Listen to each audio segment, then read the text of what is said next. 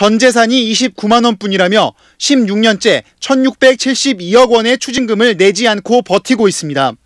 재벌과 결탁해서 비자금 만들고 자기 사 욕심으로 천문학적인 돈을 감추고 있다가 그걸 내지도 않고 있어요. 반성은 한 번도 써본 적 없습니다. 전 씨에 대한 추징금 시효는 오는 10월 만료될 예정입니다. MBC 뉴스